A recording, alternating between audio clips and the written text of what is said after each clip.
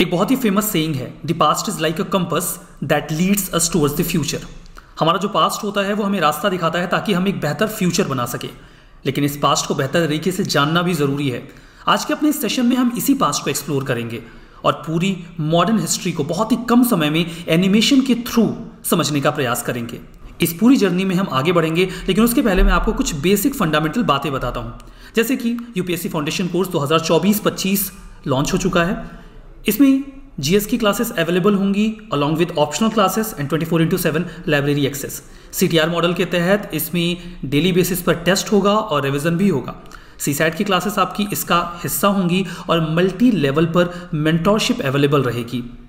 Recorded lectures available होंगे अगर आपने किसी भी केस में अपनी क्लासेस को मिस किया है तो।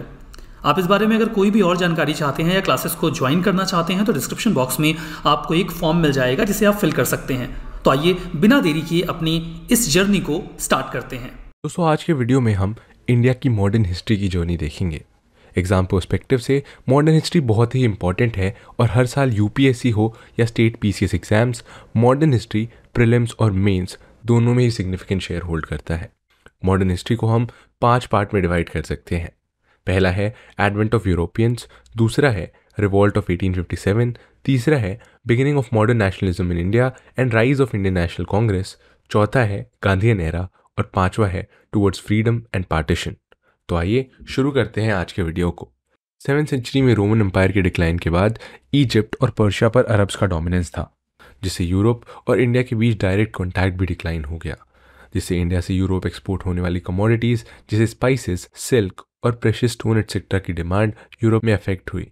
1453 में कॉन्स्टेंटिनोपल ऑटोमन्स के कंट्रोल में आया और इंडिया से मर्चेंडाइज यूरोप तक अरब इंटरमीडियरीज के थ्रू जाता था और रेड सी रूट पर इन स्टेट्स की मोनोपली थी। इन सभी सर्कमस्टांसिस के कारण यूरोपियन इंडिया के लिए एक डायरेक्ट सी रूट की तलाश करने पर निकल पड़े। पोर्चुगल के प्रिंस हेनरी इंडिया तक डायरेक्ट सी रूट खोजने के लिए इतने ऑब्सेस्ड हो गए थे कि उनका निकनेम नेविगेटर ही पड़ गया। इसके बाद एक गुजराती पायलट अब्दुल माजिद के साथ वास्को डगामा इंडिया के सी रूट की तलाश में निकले और मई 1498 में कैलिकट पहुँचे, जहाँ उनका स्वागत किया कैलिकट के किंग जैमोरिन ने, जिन्हें सामूथीरी के नाम से भी जाना जाता था। सेंचुरी से इंडियन ओशन में अरब्स अफ्रीकन और चाइनीज़ एटसेट्रा प्रॉफिटेबली ट्रेड किया करते थे, पर किसी ने भी इंडियन ओशन पर डोमिनेंस इस्टेब्लिश करने की कोशिश नहीं की थी। लेकिन पोर्चुगीज ईस्टर्न ट्रेड में अपनी मोनोपली इस्टेब्लिश करना चाहते थे। पेड्रो अल्वारिस काब्रल ने स्पाइस ट्रेड के लिए कालीकट में एक फैक्ट्री इस्टेब्लिश की।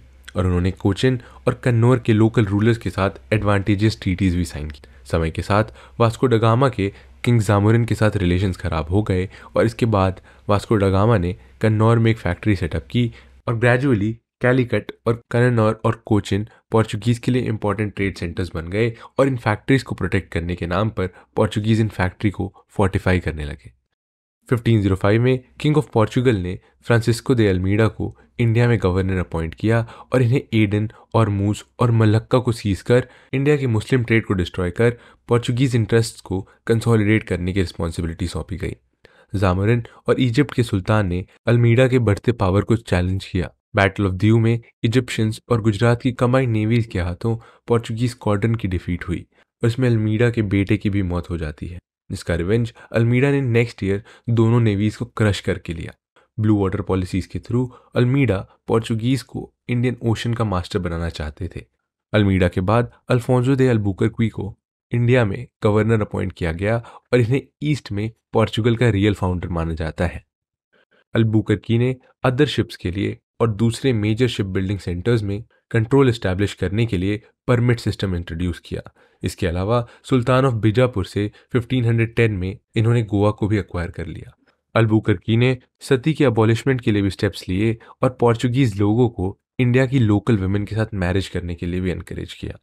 पोर्चुगीज ने खुद को एज अ विलेज लैंडलॉर्ड भी इस्टेब्लिश किया और टबैको पटेटो और कैशू जैसे क्रॉप्स को भी इंट्रोड्यूस किया। अल्फोंसो के बाद 1529 में Nuno de Cunha as a governor charge लेते हैं और करीब एक साल बाद ये पोर्चुगीज हेडक्वार्टर को कोचिन से गोवा शिफ्ट कर देते हैं।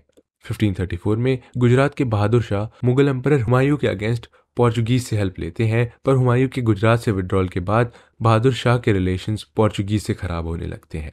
और इसी कारण कन्ना ने बहादुर शाह की भी हत्या की। कन्हा ने बंगाल में भी पोर्चुगीज इन्फ्लुएंस को इंक्रीज करने की कोशिश की और इम्पीरियल फिरमन के बाद 1579 में हुगली को अपना हेडक्वार्टर बनाया और सॉल्ट मैन्युफैक्चरिंग में भी अपनी मोनोपली स्टैब्लिश की। भारत में पोर्चुगीज स्टेट की बात करें तो वेस्ट में मुंबई दमन एंड दीव गुजरात के कुछ पार्ट्स गोवा और साउथ में पोर्चुगल के मैंगलोर कनन्नौर कोचिन और कैलिकट में सीपोर्ट फोर्ट्रेसेस और ट्रेडिंग पोस्ट थे। इसके अलावा चेन्नई में पोर्चुगीज ने सैनथोम और आंध्र प्रदेश में नागापट्टनम में फर्दर मिलिट्री स्टैब्लिशमेंट बिल्ड किए। आपको बता दें कि इनिशली पोर्चुगीज हिंदुइज्म की तरफ़ टॉलरेंट थे, पर गोवा इंक्विजिशन के बाद हिंदूज का प्रोसिक्यूशन भी किया गया। केवल इतना ही नहीं पोर्चुगीज हिंदूज और मुस्लिम बच्चों को सींच कर क्रूअल स्लेव ट्रेड भी किया करते थे। पोर्चुगीज की नेफ्रियस एक्टिविटीज़ के कारण शाहजहां के ऑर्डर पर बंगाल के गवर्नर कासिम ने हुगली को सीज किया, जिसके बाद पोर्चुगीज को बंगाल से बाहर जाना पड़ा।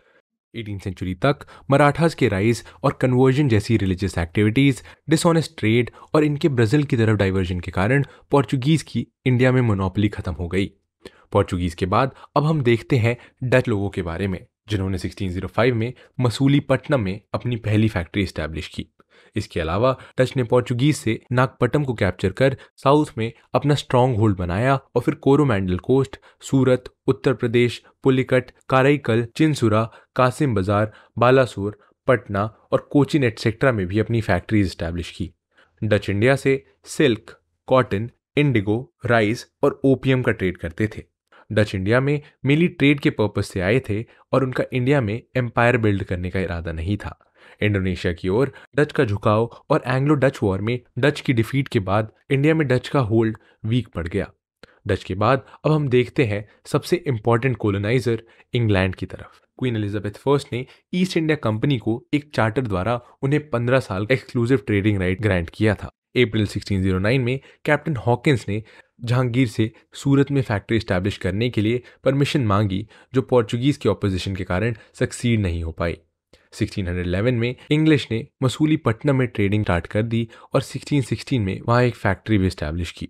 1612 में कैप्टन बीस्ट ने पोर्चुगीज को डिफीट कर जहांगीर को इम्प्रेस किया और 1613 में जहांगीर ने इंग्लिश लोगों को सूरत में सर थॉमस एल्डवर्ड के अंडर फैक्ट्री स्टैब्लिश करने की परमिशन दे दी। 1615 में sir Thomas Roe, James the first के एम्बेसडर के रूप में जहांगीर के कोर्ट में आते हैं और आगरा, अहमदाबाद और भरूच में फैक्ट्री सेट करने की परमिशन गेन करने में सक्सेसफुल होते हैं।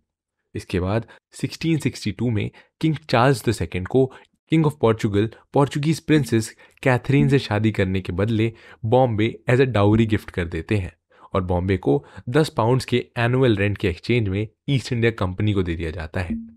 जिसके बाद 1687 में वेस्टर्न प्रेसिडेंसी की सीट सूरत से बॉम्बे शिफ्ट कर दी जाती है।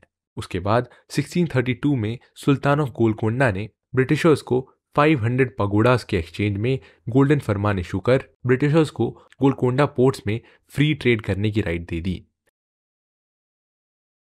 फ्रांसिस डे नाम के एक ब्रिटिश मर्चेंट को चंद्रगिरी के रूलर ने मद्रास में एक फोर्टिफाइड फैक्ट्री बिल्ड करने की परमिशन दी, जो आगे जाकर फोर्ट सेंट जॉर्ज के नाम से जाना गया। और इसी फोर्ट ने साउथ इंडिया में मसूली पट्टनम को as a British headquarter replace किया। और इसके बाद ब्रिटिशर्स ने अपनी ट्रेडिंग एक्टिविटीज़ को ईस्ट में एक्सटेंड करते हुए हरिहरपुर और बालासोर में भी फैक्ट्री इस्टेब्लिश की। आइए अब देखते हैं ब्रिटिशर्स की बंगाल एक्टिविटीज़ को। बंगाल तब इंडिया का एक लार्ज और रिच प्रोविंस हुआ करता था और बंगाल के ऊपर कंट्रोल ब्रिटिश के प्रॉफिट सीकिंग मोटिव के लिए एक क्रूशियल एलिमेंट था। 1651 में बंगाल के गवर्नर शाह सूजा ने रुपीज़ थ्री थाउज़ेंड के एक्सचेंज में ब्रिटिशर्स को बंगाल में ट्रेड करने की परमिशन दी। ब्रिटिशर्स ने बंगाल में अपनी सबसे पहली फैक्ट्री 1651 में हुगली में स्टार्ट की और इसके बाद कासिम बाज़ार, पटना और राजमहल में भी फैक्ट्री स्टैब्लिश की गई। फरमान के बावजूद भी ब्रिटिशर्स को लोकल कस्टम ऑफिसर्स को टोल पे करना पड़ता था, जो बाद में ब्रिटिशर्स और मुगल्स के बीच हॉस्टिलिटीज का कारण बना और 1686 में हुगली को मुगल्स ने कैप्चर कर लिया, जिसके जवाब में ब्रिटिशर्स ने थाना, हिजली और बालासोर को कैप्चर किया। 1690 में, जॉब चारनोक ने मुगल्स के साथ एक ट्रीटी साइन की और इम्पीरियल फरमान गेन किया। और 1691 में, सुतानुती में एक इंग्लिश फैक्ट्री स्टैब्लिश की। बारधमान डिस्ट्रिक्ट के जमींदार शोभा सिंह ने ब्रिटिशर्स के अगेंस्ट रिबेल किया और उसके बाद ब्रिटिशर्स ने सुतानुती के अपने एस्टैब्लिशमेंट को फोर्टिफाई किया। इसके बाद 1698 में ब्रिटिशर्स ने बारह सौ रुपए में सुतानुती, गोविंदपुर और कालीकाता की जमींदारी खरीद ली और एक फोर्टिफाइड इस्टेब्लिशमेंट बिल्ड किया गया। 1700 में, जिसका नाम पड़ा फोर्ट विलियम्स जिसे ईस्टर्न प्रेसिडेंसी की सीट बनाई गई और सर चार्ल्स आयर इसके फ़र्स्ट प्रेसिडेंट थे। 1715 में, जॉन सरमैन की लीडरशिप में English mission Mughal emperor Farrukh Siyar से तीन और फरमान सिक्योर करते हैं, जिससे ईस्ट इंडिया कंपनी को बंगाल, गुजरात और हैदराबाद में स्पेशल प्रिविलेजेस मिल जाते हैं और इस फरमान को Magna Carta of the company कहा जाता है। इस फरमान के अकॉर्डिंग तीन हज़ार के एनुअल पेमेंट के एक्सचेंज में कंपनी के इंपोर्ट और एक्सपोर्ट को एडिशनल कस्टम ड्यूटी से एग्ज़ाम कर दिया गया और गुड्स के ट्रांसपोर्टेशन के लिए कंपनी को दस्तक इशू करने की भी परमिशन दे दी गई। हैदराबाद में कंपनी केवल मार्जर्स के लिए रेंट देती थी और इनके existing free trading rights retained ही रहे। सूरत में एनुअल दस हज़ार के पेमेंट के बदले कंपनी को ड्यूटी फ्री ट्रेड की परमिशन दी गई और बॉम्बे में कंपनी को अपने खुद के कॉइन्स भी मिंट करने की परमिशन दी गई, जिसकी वैलिडिटी पूरे मुगल एम्पायर में थी। तो ये तो बात साफ़ हो गई कि फ्लैटरी और डिप्लोमेसी का यूज़ कर ईस्ट इंडिया कंपनी ने मुगल से कई सारे ट्रेडिंग कंसेशंस गेन किए। ब्रिटिशर्स की कहानी को हम आगे जारी रखेंगे, लेकिन उससे पहले आइए देखते हैं इंडिया में आए दूसरे फॉरेन पावर्स के बारे में, जिसे फ्रेंच जो सबसे आखिर में इंडिया आए थे। लुइस द फोर्टीन के रेन में, उनके मिनिस्टर कॉलबर्ट ने 1664 में फ्रेंच ईस्ट इंडिया कंपनी की फाउंडेशन रखी, जिसे इंडिया और पैसिफिक ओशन में 50 ईयर्स की ट्रेड मोनोपली दी गई।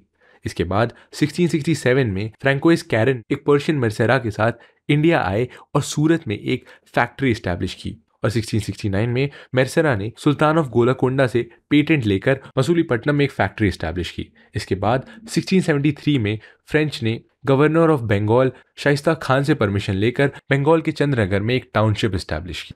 1673 में वाली कोंडापुरम के गवर्नर शेर लोदी खान ने मसूलीपट्टनम फैक्ट्री के डायरेक्टर फ्रैंकोइस मार्टिन को सेटलमेंट के लिए एक साइड ग्रांट की और यहीं पर 1674 में पौंडीचेरी स्टैब्लिश की गई, जो इंडिया में फ्रेंच के पावर हाउस का नर्व सेंटर बना और उसी साल कैरन को रिप्लेस कर मार्टिन को गवर्नर बनाया। इसके अलावा फ्रेंच ने माहे, कराईकाल, बारासोर और कासिम बाज़ार में भी अपनी फैक्ट्रीज स्टैब्लिश की। 1693 में डच ने पौंडीचेरी को कैप्चर किया और 1697 में ट्रीटी ऑफ़ रिस्विक के बाद पौंडीचेरी को फ्रेंच के पास रिस्टोर किया गया। इसके बाद वॉर ऑफ़ स्पेनिश सक्सेशन और मार्टिन के डिमाइस के कारण फ्रेंच को इंडिया में एक बड़ा सेटबैक फेस करना पड़ा।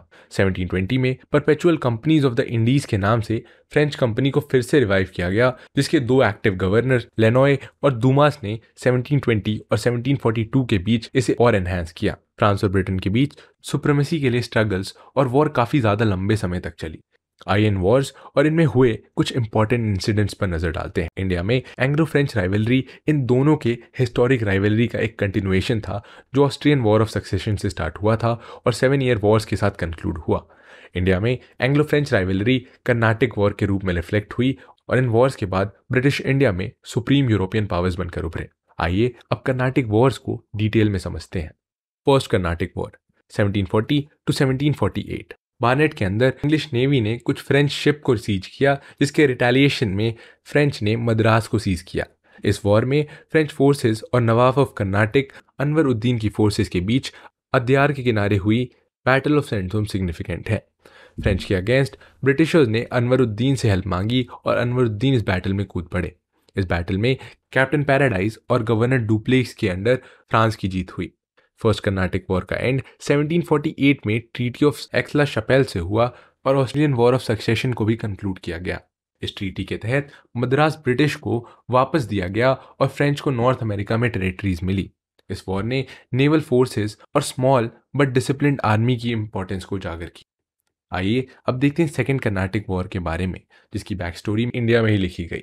French governor Dupleix southern India में फ्रेंच पावर और पॉलिटिकल इन्फ्लुएंस को इंक्रीज करने और ब्रिटिश को डिफीट करने के लिए लोकल डायनेस्टीज के डिस्प्यूट्स में इंटरफियर करने लगे। 1748 में हैदराबाद किंगडम के फाउंडर निजामुल मुल्क की डेथ के बाद उनके बेटे नासिर जंग के एक्सेशन को नवाब के ग्रैंडसन मुजफ्फर जंग ने अपोज किया और कर्नाटक में अनवरुद्दीन की नवाबी को चंदा साहिब ने चैलेंज किया। आपको बता दें कि चंदा साहिब कर्नाटक के नवाब दोस्त अली के सन इन लॉ थे। फ्रेंच ने डेक्कन में मुजफ्फर जंग और कर्नाटक में चंदा साहिब के क्लेम को सपोर्ट किया और ब्रिटिश ने नासिर जंग और अनवरुद्दीन को सपोर्ट किया। 1749 में मुजफ्फर जंग चंदा साहिब और फ्रेंच की कमांड आर्मी ने अनवरुद्दीन को बैटल ऑफ़ अंबर में मार गिराया और जिसके बाद मुजफ्फर जंग डेक्कन के सूबादार बन गए और डुप्लिक्स कृष्णा रिवर के साउथ की पूरी मुगल टेरिटरी के गवर्नर अपॉइंट किए गए। इसके बाद रॉबर्ट क्लाइव की लीडरशिप के अंदर ब्रिटिश फोर्सेस ने कार्नेटिक के कैपिटल आरकोट को कैप्चर किया। अपनी पूरी कोशिश करने के बाद भी चंदा साहेब आर्कट को बचा नहीं पाए और 1752 में उन्होंने सरेंडर कर दिया, जिसके बाद मोहम्मद अली ने उन्हें एग्जीक्यूट भी कर दिया। 1754 में फ्रेंच ने डुप्लिक्स को फ्रांस रिटर्न करने के लिए बुला लिया और गॉडहू को इंडिया का गवर्नर अपॉइंट किया गया। गॉडहू ने ब्रिटिश के साथ पॉलिसी ऑफ़ नेगोशिएशन अडॉप्ट की और उसने उनके साथ एक ट्रीटी भी साइन की, जिसमें दोनों ने नेटिव प्रिंसेस के क्वारल्स में इंटरफेयर नहीं करने का डिसीज़न लिया। इन सब घटनाओं के बाद इंडियन अथॉरिटी यूरोपियन सपोर्ट के ऊपर डिपेंडेंट हो गई थी और कर्नाटक के मोहम्मद अली और हैदराबाद के सलावत जंग यूरोपियंस के पेट्रन के स्थान पर महज एक क्लाइंट ही बनकर रह गए। थर्ड कर्नाटक वॉर 1758 टू 1763 1758 में काउंट डे लैली के अंडर फ्रेंच आर्मी में सेंट डेविड और विजयनगरम को कैप्चर कर लिया और ब्रिटिश एडमिरल डी एक ने मसूलीपट्टनम में फ्रेंच फ्लीट पर अटैक कर दिया। Battle of Wandiwash third Carnatic war में एक डिसाइसिव बैटल थी, जिसमें सर आयर कूट की लीडरशिप में ब्रिटिशर्स की जीत हुई। इसके बाद फ्रेंच की पावर ना के बराबर ही रह गई। और 16 जनवरी 1761 में लैली ने फाइनली सरेंडर कर दिया। थर्ड कर्नाटिक वॉर के बाद 1763 में treaty of peace of Paris sign की गई, जिसके बाद इंडिया में फ्रेंच पोजिशन तो रिस्टोर हो गई, पर इंडिया में इनका पॉलिटिकल इन्फ्लुएंस ना के बराबर ही रह गया। और पोर्चुगीज और डच की तरह फ्रेंच भी अपने स्मॉल इनक्लेव्स में ही कन्फाइंड हो गए और उनकी एक्टिविटीज़ ट्रेड तक ही लिमिट रह गई। हिस्टोरियन 1757 की बैटल ऑफ़ प्लासी को ब्रिटिश रूल के लिए एक डिसाइसिव इवेंट कंसिडर करते हैं। पर बैटल ऑफ़ वैंडी वॉश के बाद British East India company India में एक सोल पावर बनकर इमर्ज हुई थी। आगे बढ़ने से पहले आइए इंडिया में डेनिश ईस्ट इंडिया कंपनी के बारे में जानते हैं, जिसे 1616 में स्टैब्लिश किया गया था और 1620 में इन्होंने टैंजोर के करीब ट्रैंकेबार में एक फैक्ट्री स्टैब्लिश की इसके अलावा सिरमपुर में इनकी प्रिंसिपल सेटलमेंट भी थी। डेन्स इंडिया में ट्रेड और कॉमर्स से ज़्यादा मिशनरी एक्टिविटीज़ के लिए आए थे। औरंगज़ेब के रेन से ही मुगल एम्पायर की फाउंडेशन कमज़ोर पड़ने लगी थी, जिसमें इकोनॉमिक और military decline external invasions advent of Europeans Aurangzeb की रिलीजियस और डेकन पॉलिसीज़ और मैसूर राजपूत केरला जट्स अवध बंगाल हैदराबाद सिख और मराठास का इंडिपेंडेंट स्टेट बनकर उभरना भी मुगल एम्पायर के डिक्लाइन का एक मेन रीज़न रहा। इंडिया में ब्रिटिश के स्ट्रॉन्ग होल्ड को इंक्रीज करने में बंगाल का एक अहम रोल रहा है। बंगाल के दीवान मुर्शिद कुली खान के बेटे सरफराज खान की हत्या कर अलीवर्दी खान ने बंगाल को टेक ओवर किया था। इंडिया के बाकी रीजन्स जो Maratha invasions Jat revolt external invasion से स्ट्रगल कर रहे थे, बंगाल इन सबसे अनटच रहा। अलीवर्दी खान को सक्सीड किया उनके ग्रैंड सर सिराजुद्दौला ने। पर उनके सामने उनके कज़न शौकत जंग, उनकी आंट घसीती बेगम, मीर जाफ़र, जगत सेठ, राय दुर्लभ, राय बल्लभ, ओमी चंद और अलार्म्ड हिंदू पॉपुलेशन उनकी ऑपोजिशन में खड़ी थी। सिराजुद्दौला ने शौकत जंग को एक बैटल में मार गिराया। घसीती बेगम को डिसमिस कर दिया और मीर जाफ़र को मोहन लाल द्वारा रिप्लेस कर दिया। कंपनी के ट्रेड प्रिविलेजेस के मिसयूज ने नवाब के फाइनेंसिस को एडवर्सली इफ़ेक्ट किया और तो और, बिना नवाब की परमिशन के इन्होंने कैलकटा को भी फोर्टिफाई कर लिया और राय वल्लभ के बेटे कृष्णादास को असाइलम भी दे दिया। इसके रिटेलिएशन में सिराजुद्दौला ने कैलकटा फोर्ट को सीज कर लिया, जिसके बाद ब्रिटिशर्स ने ब्लैक होल ट्रेजेडी को प्रोपोगेट किया, जिसके अकॉर्डिंग सिराजुद्दौला ने 146 ब्रिटिशर्स को एक बहुत ही टाइनी रूम में इम्प्रेजन किया था, जिसके कारण 123 ने सफोकेशन से अपना दम तोड़ दिया। पर हिस्टोरियंस इस स्टोरी से अग्री नहीं करते। रॉबर्ट क्लाइव ने नवाब के ट्रेटर मीर जाफ़र, राय दुर्लभ, जगत सेठ और उमी चंद के साथ एक सीक्रेट अलायंस साइन की, जिसके अकॉर्डिंग मीर जाफ़र को नेक्स्ट नवाब बनाया जाना था। इस सीक्रेट अलायंस के कारण ट्वेंटी जून 1757 की बैटल ऑफ़ प्लासी में सिराजुद्दौला की हार हुई और मीर जाफ़र के बेटे मिरान के ऑर्डर पर सिराजुद्दौला को एग्जीक्यूट कर दिया गया। मीर जाफ़र को बंगाल का नेक्स्ट नवाब बनाया गया और इसके एक्सचेंज में मीर जाफ़र ने कंपनी को लार्ज सम ऑफ़ मनी और 24 परगनास की ज़िम्मेदारी सौंप दी। ब्रिटिशर्स ने मीर जाफ़र के कोर्ट में एक रेसिडेंट अपॉइंट किया और मीर जाफ़र अपनी पोजीशन मेंटेन करने के लिए पूरी तरह से ब्रिटिशर्स के ऊपर डिपेंडेंट थे। बैटल ऑफ़ प्लासी ने इंडिया में ब्रिटिश एम्पायर का फाउंडेशन स्टोन रखा और साथ साथ बंगाल में ब्रिटिश की मिलिट्री सुप्रेमेसी भी इस्टेब्लिश की। इसके बाद क्लाइव के रिपीटेड इंटरफेरेंस से इरिटेट होकर मीर जाफ़र ने डच के साथ एक कॉन्स्पिरेसी की, पर बेदारा में इंग्लिश फोर्सेस के हाथों डच की डिफीट हुई, जिसके बाद कंपनी ने मीर जाफ़र के son in law Mir Qasim के साथ 1760 में एक ट्रीटी साइन की और उसे नेक्स्ट नवाब बनाया गया, जिसके एक्सचेंज में मीर कासिम ने बुर्दवान, मिदनापुर और चिटगोंग के राइट्स कंपनी को दे दिए। इसके बाद कंपनी से एक सेफ़ डिस्टेंस मेंटेन करने के लिए मीर कासिम ने कैपिटल को मुर्शिदाबाद से मुंगेर शिफ्ट कर दिया। एडमिनिस्ट्रेशन को रीऑर्गेनाइज किया और आर्मी को एफिशिएंट बनाने के लिए रिक्वायर्ड स्टेप्स लिए। कंपनी द्वारा दस्तक के मिसयूज के कारण मीर कासिम और कंट्री के बीच टसल इंक्रीज होते चले गए और 1763 में ये टसल वॉर में डेवलप हो गया और मीर कासिम को अवध भागना पड़ा और वहाँ के नवाब नवाब शुजाउद्दौला और मुगल एम्पर शाह आलम टू के साथ एक कन्फेडरेसी साइन करनी पड़ी। पर इसमें ब्रिटिश की जीत होती है, जिसके बाद ब्रिटिश नॉर्थ इंडिया में एक ग्रेट पावर के रूप में उभरते हैं। मीर जाफ़र को फिर से नवाब रिस्टोर किया जाता है और इसके एक्सचेंज में मीर जाफ़र ने मिदनपुर, बुर्डवान और चिटगोंग के साथ पूरे बंगाल में ब्रिटिश को ड्यूटी फ्री ट्रेड के राइट्स देते हैं और केवल सॉल्ट के ऊपर ही दो परसेंट की ड्यूटी लेते हैं।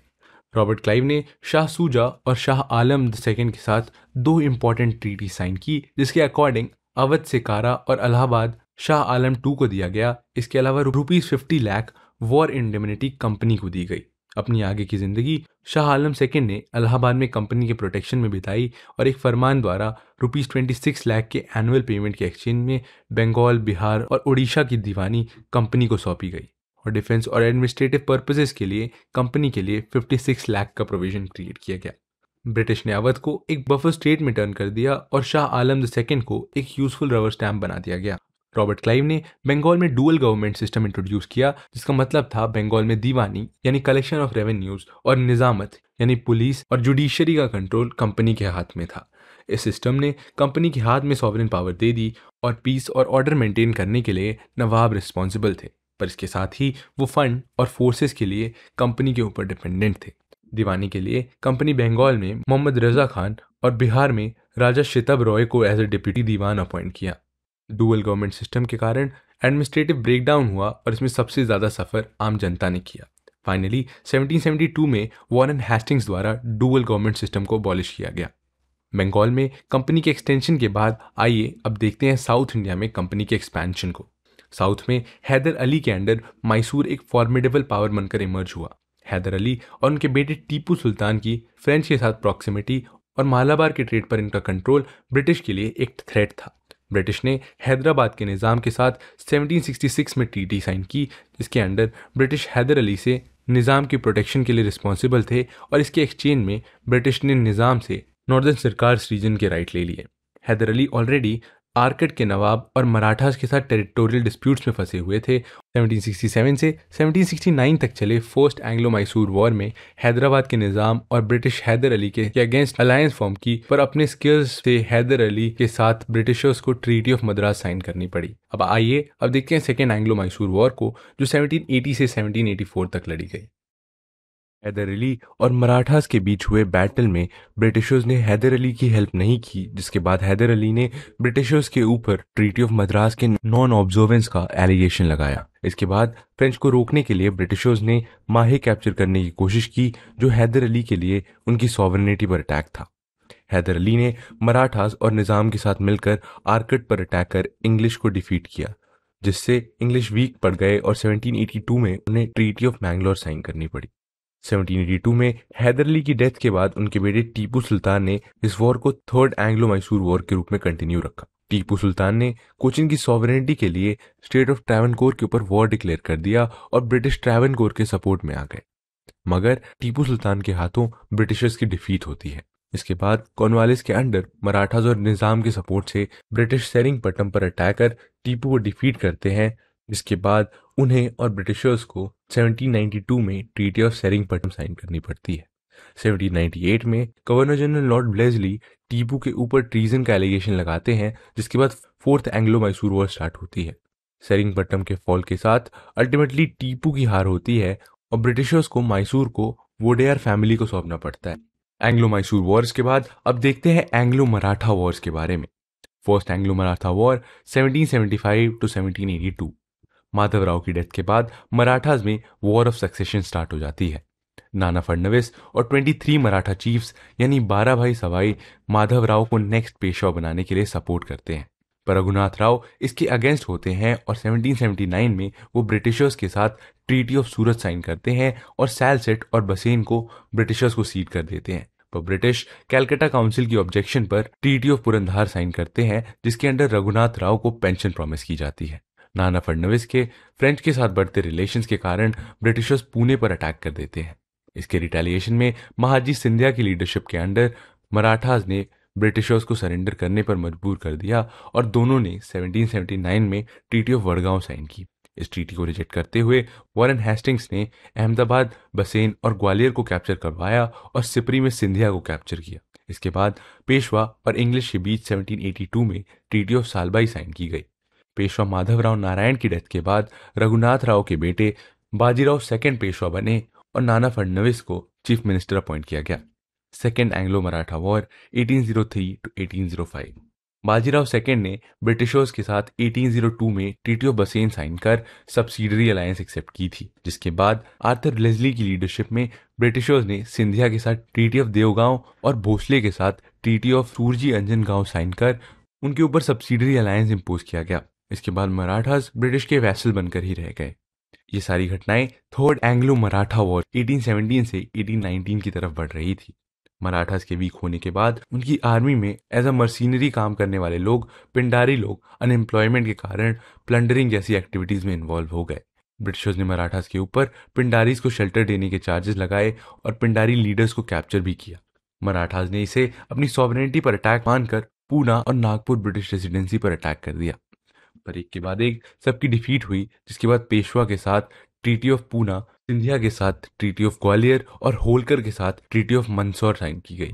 इसके साथ ही मराठा कॉन्फेडरेसी डिसॉल्व कर पेशवा बाजीराव सेकेंड को ब्रिटिश रिटेनर बनाकर बिठूर भेज दिया गया। एंग्लो मराठा वॉर्स के बाद, आइए अब देखते हैं फ़र्स्ट एंग्लो सिख वॉर के बारे में, जो 1845 से 1846 तक चली। 1845 में लाल सिंह की लीडरशिप में सिख द्वारा सतलज रिवर को क्रॉस करने के एक्ट को ब्रिटिश ने as an act of aggression लिया और सिख के ऊपर वॉर डिक्लेयर कर दिया। इस वॉर में सिख की हार होती है और 1846 में ब्रिटिशर्स और सिख के बीच ट्रीटी ऑफ़ लाहौर साइन की जाती है।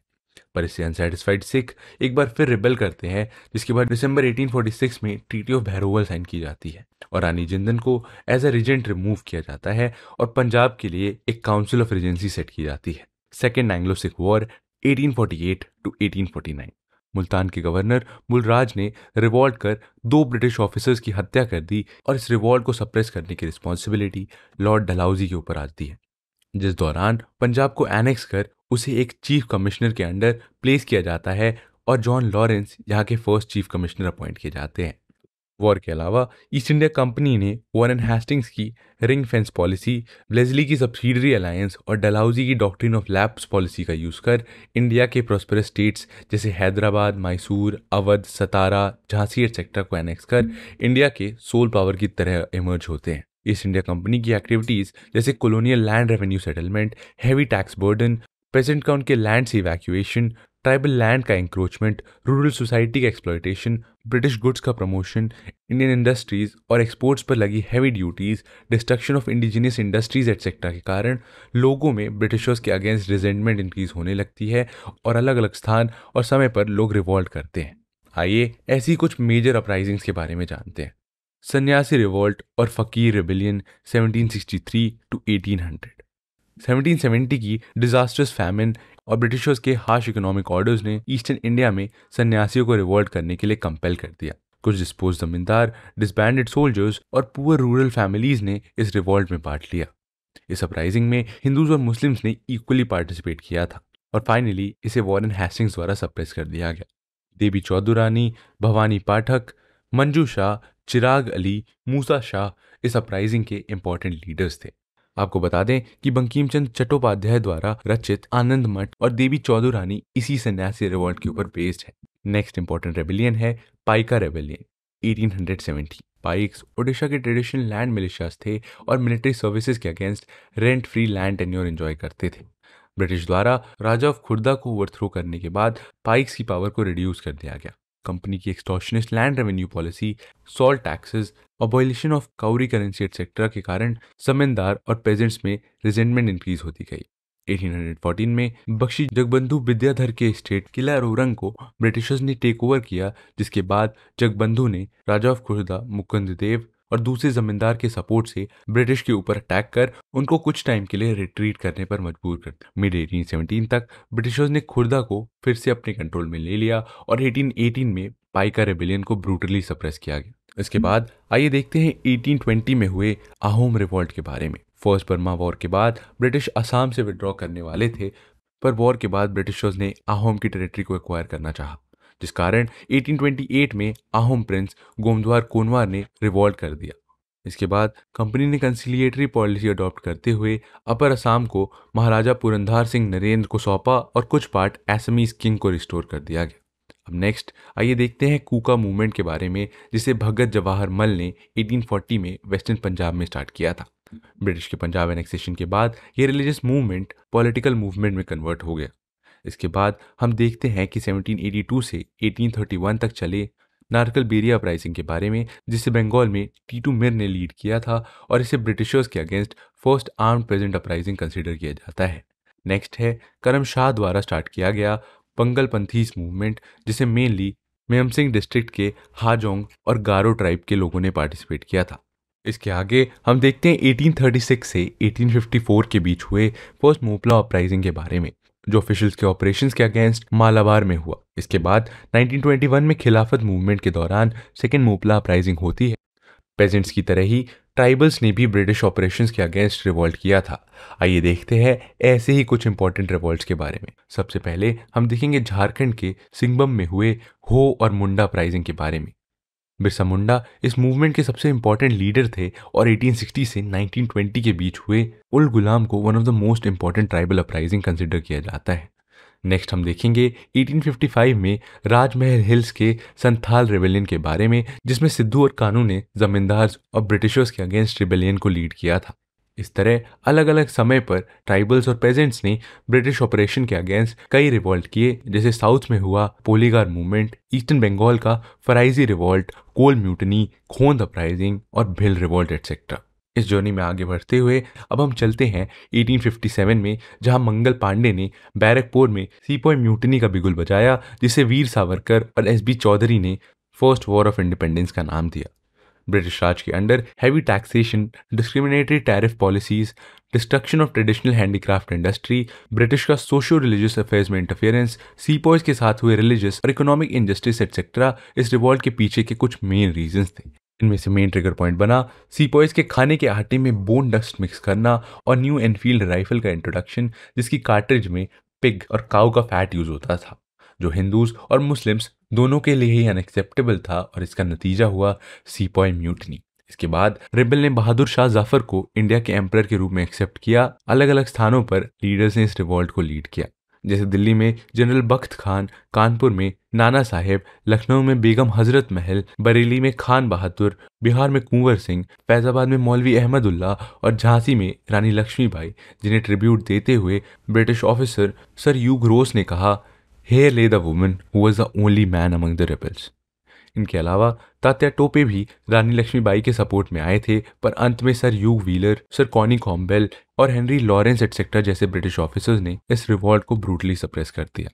1857 का रिवॉल्ट इंडिया की हिस्ट्री में एक टर्निंग पॉइंट था, जिसके बाद क्वीन विक्टोरिया को ब्रिटिश इंडिया का सॉवरेन रूलर डिक्लेयर किया गया।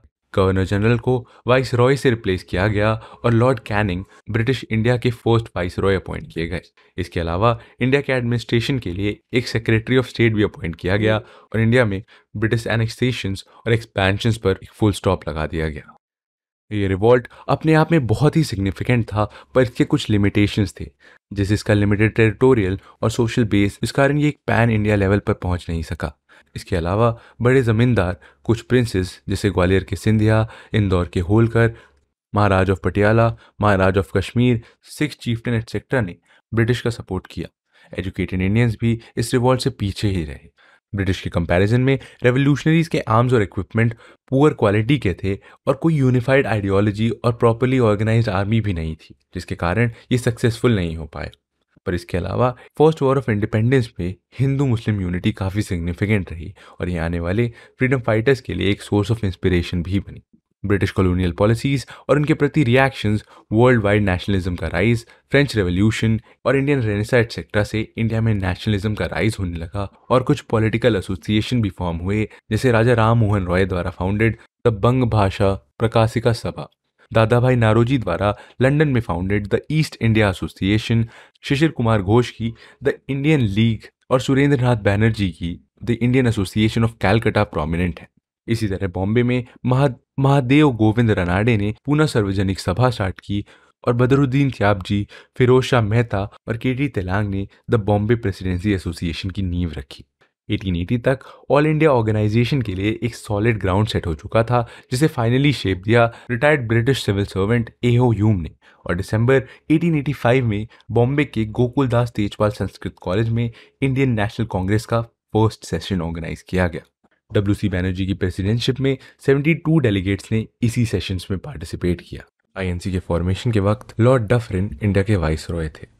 आईएनसी एक अपर मिडिल क्लास और वेस्टर्न एजुकेटेड इंडियंस का एसोसिएशन था, जिसे इंडियंस की प्रॉब्लम्स को डिस्कस करने की इंटेंशन से फॉर्म किया गया था। आईएनसी के बारे में लाला लाजपत राय जैसे एक्सट्रीमिस्ट का मानना था कि ये ब्रिटिश के लिए एक सेफ्टी वैल्व की तरह है। पर बिपिन चंद्रा जैसे हिस्टोरियंस का ये ओपिनियन है कि कांग्रेस लीडर्स ने एओ यूम को as a lightning conductor use किया। I N C's moderate phase 1885 to 1905 Dadabhai Naoroji S N Banerjee, G Subramania Iyer Gopal Krishna Gokhale जैसे लीडर्स लिबरलिज्म और मॉडरेट पॉलिटिक्स के बिलीवर थे। इनका एम था tax reforms जिसके लिए इन्होंने नो टैक्सेशन विदाउट रिप्रेजेंटेशन का स्लोगन यूज़ किया था।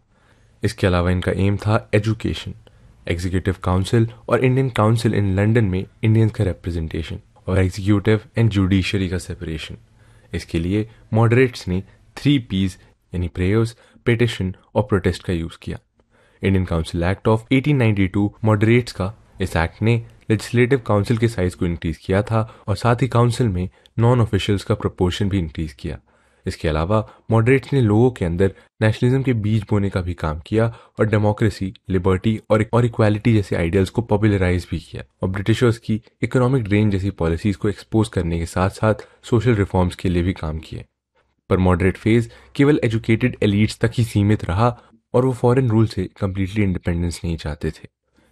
Era of militant nationalism 1905 to 1920 twenty century के बिगनिंग में एक new class of leaders emerge हुए जो ब्रिटिश एम्पायर के अगेंस्ट अग्रेसिव स्टांस रखते थे और मॉडरेट्स के सॉफ्ट अप्रोच से अग्री नहीं करते थे।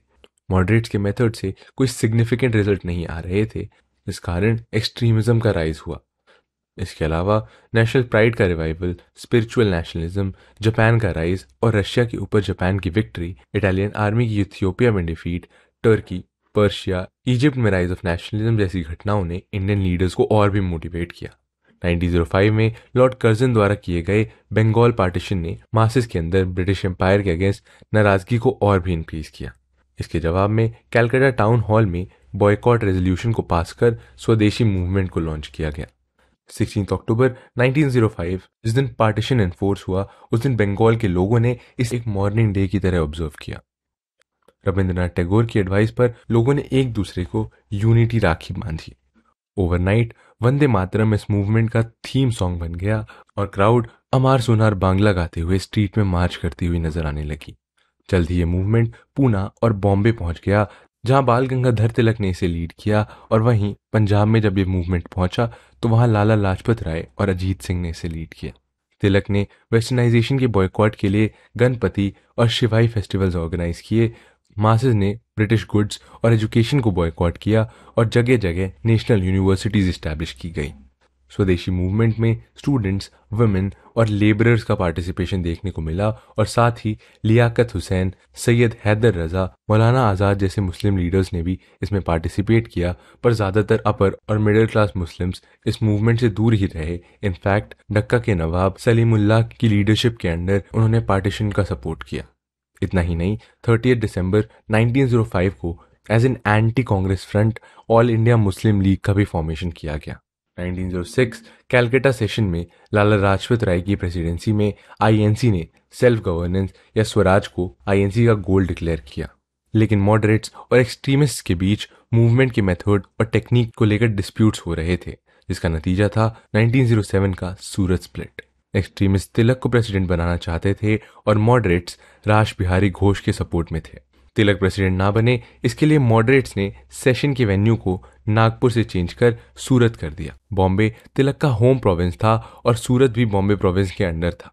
आईएनसी की पॉलिसी के अकॉर्डिंग सेशन का प्रेसिडेंट होम प्रोविंस से नहीं हो सकता था और इस तरह तिलक प्रेसिडेंसी से एक्सक्लूड कर दिए गए। इसके अलावा मॉडरेट्स अब स्वदेशी बॉयकॉट और नेशनल एजुकेशन को बॉयकॉट करना चाहते थे, जो एक्सट्रीमिस्ट को मंजूर नहीं था। और इसके बाद मॉडरेट्स और एक्सट्रीमिस्ट्स दोनों का रास्ता अलग हो गया। गवर्नमेंट ने विग्रेसली एक्सट्रीमिस्ट पर अटैक किया। इनकी एक्टिविटीज़ को चेक करने के लिए seditious meetings act 1907, Indian newspapers, incitement to offence act 1908, criminal law amendment act 1908 और इंडियन प्रेस एक्ट 1910 जैसे लॉज को पास किया गया। इतना ही नहीं बंगाल रेवोल्यूशनरीज द्वारा मुजफ्फरपुर बॉम्ब इंसिडेंट के फेवर में अपने न्यूज़पेपर केसरी में लिखने के लिए तिलक के ऊपर सेडिशन के चार्जेस लगाए गए और उन्हें सिक्स ईयर्स के लिए बर्मा जेल भेज दिया गया। 1908 तक और बिंदु घोष और बिपिन चंद्रपाल ने एक्टिव पॉलिटिक्स से रिटायरमेंट ले लिया और इसके साथ ये मूवमेंट स्लो हो गया। 1911 में पार्टीशन को कैंसिल कर दिया गया और बंगाल प्रोविंस से बिहार उड़ीसा और असम को अलग कर सेपरेट स्टेट्स बना दिए गए और मुस्लिम्स को अपीस करने के लिए ब्रिटिश इंडिया के कैपिटल को कैलकाटा से दिल्ली शिफ्ट किया गया, पर मुस्लिम इससे बहुत ज़्यादा इम्प्रेस नहीं हुए। स्वदेशी मूवमेंट के फॉलोआउट के बाद 1907 से 1917 का दशक रेवोल्यूशनरी एक्टिविटीज़ का फ़र्स्ट फ़ेज़ रहा और रेवोल्यूशनरीज ने रशियन नाइलिस्ट्स और आयरिश नेशनलिस्ट के फुटस्टेप पर चलते हुए अपनी एक्टिविटीज़ को अंजाम दिया। बंगाल महाराष्ट्र और पंजाब इन एक्टिविटीज़ के मेन सेंटर्स रहे और बंगाल में जतेंद्र नाथ बैनर्जी, बरेंद्र कुमार घोष और प्रमोथम मित्तर ने अनुशीलन समिति स्टैब्लिश किया और एक वीकली युगांतर भी स्टार्ट किया। राज बिहारी बोस और सचिंद्र सान्याल ने पंजाब, यूनाइटेड प्रोविंस और दिल्ली को कवर करने के लिए एक सीक्रेट सोसाइटी बनाई। 1908 में प्रफुल्ल चक्की और खुदीराम बोस ने जज किंग्सफर्ड के कैरियर के ऊपर बॉम्ब से अटैक किया, पर अनफॉर्चुनेटली किंग्सफर्ड के स्थान पर दो ब्रिटिश लेडीज़ की डेथ हो गई। जिसके बाद प्रफुल्ल चक्की ने खुद को शूट कर लिया और खुदीराम बोस को फांसी की सजा दी गई। अलीपुर कॉन्स्परेसी केस में अनुशीलन समिति के मैक्सिमम लीडर्स को सजा हो गई। इसके बाद जतेंद्र नाथ मुखर्जी, जिन्हें बाघा जतिन के नाम से भी जाना जाता है, उन्होंने वेस्टर्न अनुशीलन समिति की बागडोर संभाली। जतिन ने राजबिहारी बोस के साथ मिलकर जर्मन प्लॉट या जिमरमैन प्लान बनाया, जिसका टारगेट था फोर्ट विलियम को सीज करना और गुरिल्ला फोर्स का यूज़ कर पूरे इंडिया में अपराइजिंग स्टार्ट करना। इनकी इन्फॉर्मेशन लीक हो जाने के कारण ये प्लान फेल हो गया और बालासोर में बाघा जतिन की हत्या कर दी गई। महाराष्ट्र में सावरकर ने मित्र मेला ऑर्गेनाइज किया, जो बाद में अभिनव भारत के साथ मर्ज हुआ। जल्द ही नासिक, पूना और बॉम्बे बॉम्ब मैन्युफैक्चरिंग सेंटर्स की तरह इमर्ज हुए। पंजाब से लाला लाजपत राय, अजीत सिंह और सैयद हैदर रजा ने रेवोल्यूशनरी एक्टिविटीज़ को लीड किया। इसके अलावा श्यामजी कृष्णा वर्मा ने लंदन में इंडियन होम रूल सोसाइटी यानी इंडिया हाउस इस्टेब्लिश किया। इसी के एक मेंबर 1909 में कर्जन वाइली का असैसिनेशन किया और मैडम भीखाजी कामा और अजीत सिंह ने पेरिस और जनीवा में अपनी एक्टिविटीज़ जारी रखी।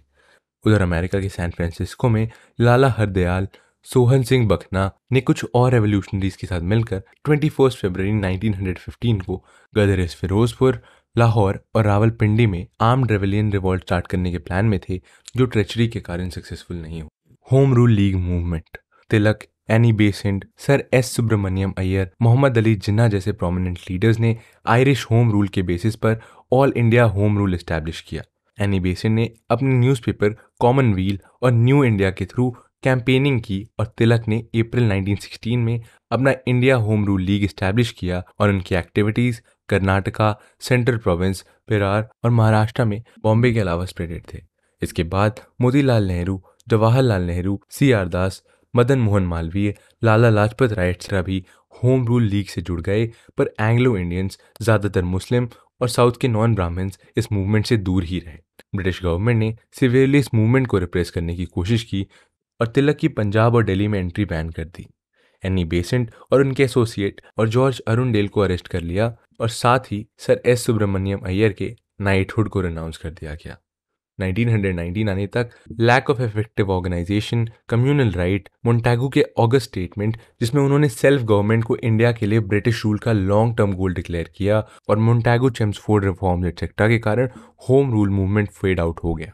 1920 में गांधी जी ने होम रूल लीग की प्रेसिडेंटशिप इस्टेब्लिश की और इसे एक नया नाम स्वराज सभा दिया गया। 1916 में एसी मजुमदार की लीडरशिप में हुए, लखनऊ सेशन में एक्सट्रीमिस्ट आईएनसी से फिर से मर्ज हो गए और साथ ही इन्होंने मुस्लिम लीग के साथ लखनऊ पैक्ट भी साइन किया। Era of mass nationalism 1919 to 1939 emergence of Gandhi South Africa में इंडियंस के अधिकारों के लिए सत्याग्रह करने के बाद गांधी जी जनवरी 1915 को इंडिया आते हैं। और 1917 में उन्होंने बिहार के चंपारण में फ़र्स्ट सिविल डिसोबीडियंस किया। चंपारण के किसानों के ऊपर यूरोपियन प्लांटर्स ने तिनकठिया सिस्टम फोर्स किया था और किसानों से इलीगल ड्यूज और रेंट वसूला करते थे। राजकुमार शुक्ला, राजेंद्र प्रसाद और जे बी कृपलानी जैसे लीडर्स के साथ गांधी जी चंपारण आते हैं और इस इनह्यूमन सिस्टम के अगेंस्ट सक्सेसफुली सिविल डिसोबीडियंस करते हैं। इसके बाद 1918 में अहमदाबाद मिल में वर्कर्स के लिए गांधी जी ने हंगर स्ट्राइक किया, जो उनका इंडिया में पहला हंगर स्ट्राइक था। फिर 1918 में ही खेड़ा में गांधी जी ने वहाँ के किसानों के लिए नॉन कोऑपरेशन मूवमेंट किया। कॉमन मासेस के ऊपर अपनी पावर ग्रिप और इंक्रीज करने के लिए 1919 में ब्रिटिश गवर्नमेंट रॉलेट एक्ट या anarchical and revolutionary crimes act pass करती है। इस एक्ट के अकॉर्डिंग किसी को भी बिना ट्रायल अरेस्ट किया जा सकता था। रॉलेट एक्ट को ब्लैक एक्ट का नाम देते हुए इसके अगेंस्ट गांधी जी ने बाकी लीडर्स के साथ अप्रैल सिक्स 1919 को ऑल इंडिया हड़ताल करने का डिसीज़न लिया, जिसे रॉलेट सत्याग्रह का नाम दिया गया। पर इसके पहले ही कैलकटा, बॉम्बे और दिल्ली में एंटी ब्रिटिश सेंटिमेंट्स ने लार्ज स्केल वायलेंस का रूप ले लिया था। पंजाब में सिचुएशन इतनी ख़राब हुई थी कि वहाँ मार्शल लॉ इम्पोज करना पड़ा। इसके बाद थर्टीन अप्रैल 1919 को जलियावाला बाग में बैसाखी सेलिब्रेट करने और सैफुद्दीन किचलू और डॉक्टर सत्यपाल के प्रति सॉलिडारिटी एक्सप्रेस करने के लिए हज़ारों नॉन वायलेंट प्रोटेस्टर्स गैदर होते हैं। जनरल डायर अपने ट्रूप्स के साथ गार्डन के सिंगल नैरो एंट्रेंस को ब्लॉक कर अनआर्म्ड क्राउड के ऊपर फायरिंग स्टार्ट कर देता है और इस 10 मिनट की अंधाधुंध फायरिंग में हज़ार से ज़्यादा लोगों की डेथ होती है और 1500 से ज़्यादा लोग इंजर्ड होते हैं। इस दिल दहला देने वाली घटना ने इंडियंस के मन से ब्रिटिश के प्रति फेथ को टोटली डिस्ट्रॉय कर दिया। नेशनल लीडर्स ने डायर के इस एक्ट को अनइक्वी वोकली कंडेम किया और रविंद्रनाथ टैगोर ने इसके प्रोटेस्ट में अपना नाइटहुड रिटर्न कर दिया और गांधी जी ने अपना केसरे हिंद का टाइटल भी रिटर्न कर दिया। इसके बाद 18 अप्रैल 1919 को गवर्नमेंट ने जलियांवाला बाग मैसेकर की इंक्वायरी के लिए हंटर कमीशन सेट किया और इस कमीशन ने बट उसके अगेंस्ट कोई भी डिसिप्लिनरी एक्शन नहीं लिया गया। उस वक्त पंजाब के लेफ्टिनेंट गवर्नर माइकल ओडवायर थे। 1940 में लंदन में उद्धम सिंह ने जलियावाला बाग मैसेकर के रिवेंज में माइकल ओडवायर को असैसिनेट कर दिया। Non cooperation movement and Khilafat movement fifth सितंबर 1920 को गांधी जी की लीडरशिप में इंडियन नेशनल कांग्रेस ने नॉन कोऑपरेशन मूवमेंट लॉन्च किया 1921 में गांधी जी ने पूरे देश में ट्रैवल करते हुए नॉन कोऑपरेशन मूवमेंट को टेनेट्स को एक्सप्लेन किया। नॉन कोऑपरेशन मूवमेंट एक पीसफुल नॉन वायलेंट मूवमेंट था जिसमें इंडियंस ने अपने टाइटल्स रेलिंक्विश किए। लोकल बॉडीज़ और गवर्नमेंट सर्विसेज़ से रिज़ाइन किया। इसके साथ ही गवर्नमेंट स्कूल और यूनिवर्सिटीज़ और आर्मी को भी बॉयकॉट किया। लोगों ने टैक्सेस देने से मना कर दिया और आईएनसी ने स्वराज की भी डिमांड की। ब्रिटिश गुड्स का बॉयकॉट और स्वदेशी और खादी को भरपूर प्रमोट किया गया। फ़र्स्ट वर्ल्ड वॉर में टर्की की डिफीट के बाद ब्रिटिशर्स ने ऑटोमन कैलिफेट को डिसॉल्व कर दिया था, जिसे मुस्लिम्स अपना कैलिफ मानते थे। नॉन कोऑपरेशन मूवमेंट के साथ ब्रिटिश के इस एक्ट के अगेंस्ट मौलाना मोहम्मद अली, शौकत अली, मौलाना आज़ाद हकीम अजमल खान और हजमत मुहानी की लीडरशिप में खिलाफत मूवमेंट भी लॉन्च किया गया। फरवरी 1922 में चौरी चौरा में लोकल्स और पुलिस के बीच हुए वायलेंट इंसिडेंट के बाद गांधी जी ने नॉन कोऑपरेशन मूवमेंट को वापस ले लिया। गांधी जी के अकॉर्डिंग अभी मासेस अहिंसा के मार्ग पर चलने के लिए रेडी नहीं थे। मोतीलाल नेहरू, सी आर दास जैसे लीडर्स गांधी जी के इस डिसीज़न के अगेंस्ट थे। गांधी जी के कहे के मुताबिक नॉन कोऑपरेशन मूवमेंट से एक साल में आज़ादी तो नहीं मिली, पर ये एक मास मूवमेंट बनकर उभरा, जिसमें लाखों लोगों ने अपना पीसफुल पार्टिसिपेशन दिया और इस मूवमेंट के एक्सटेंट ने ब्रिटिश गवर्नमेंट को भी हिलाकर रख दिया।